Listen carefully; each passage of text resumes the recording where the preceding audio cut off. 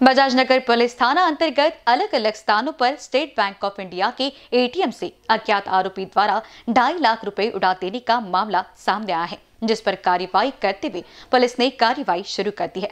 वहीं पुलिस द्वारा संदेह व्यक्त किया जा रहा है कि उसके पीछे कोई अंतर्राज्यीय गैंग का हाथ है। मिली जानकारी के अनुसार बजाज नगर थाना अंतर्गत अलग अलग स्थानों पर स्टेट बैंक ऑफ़ इंडिया के एटीएम से अज्ञात आरोपी द्वारा ढाई लाख रुपए उड़ा लेने का मामला सामने आया है। आरोपी वह एटीएम कार्ड का इस्तेमाल कर कार्ड स्वाइप तो करता था, लेकिन ट्रांजेक्शन पूरा किए बगैर ही ट्रे में जमा हुई रकम निकाल देता था।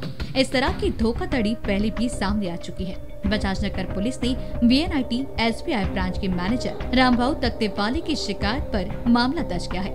गत 14 जून को V N I T college, Deendayal Nagar, central avenue road पर गीतांजलि सिनेमा चौक और वर्धमान नगर स्थित एस बी आई के चार ए टी एम ऐसी रकम उड़ाई गई आरोपी ने तेईस बार ट्रांजेक्शन कर हर बार दस हज़ार रूपए, ऐसे कुल ढाई लाख रूपए मशीन से निकाली। जिस डेबिट कार्ड का उपयोग ट्रांजेक्शन में किया गया, उस खाते से रकम डेबिट नहीं हुई और मशीन से रुपए गायब हो गए। हिसाबी गडबडी सामने आने के बाद बैंक अधिकारी ने जांच करवाई।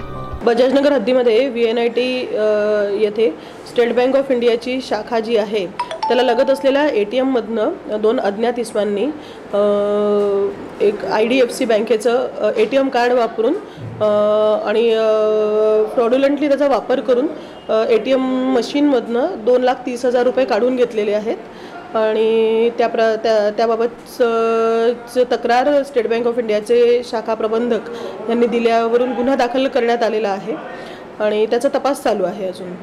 बताया जाता है कि चोरी करने वाला एक ही युवक है। वह अलग अलग स्थानों पर गया। इन सभी चार एस बी आई एटीएम में एक ही कंपनी की मशीन लगी हुई है। जब भी कोई व्यक्ति अपना एटीएम कार्ड मशीन में स्वाइप करता है मशीन ऑटोमेटिक दस हज़ार रूपए ट्रे में भेज देती है। कार्ड धारक द्वारा आवश्यकता अनुसार रकम निकाले जाने के बाद बाकी रकम वापस मशीन के सेफ़ में चली जाती है। चोरों ने इसी तरह का कार्ड स्वाइप किया है। कोई भी अमाउंट डाले बगैर ट्रे में दस हज़ार रूपए असेंबली से निकाली। पुलिस इस कार्ड के नंबर के ज़रिए भी आरोपी का पता लगाने का प्रयास करी पुलिस को संदेह है कि इसके पीछे अंतर्राष्ट्रीय गैंग का हाथ है। कुछ लोग पहले भी पकड़े जा चुके हैं और उनकी जानकारी इकट्ठा की जा रही है। कैमरा पर्सन माइकल रामपुरे के साथ दिशा हटवार की रिपोर्ट।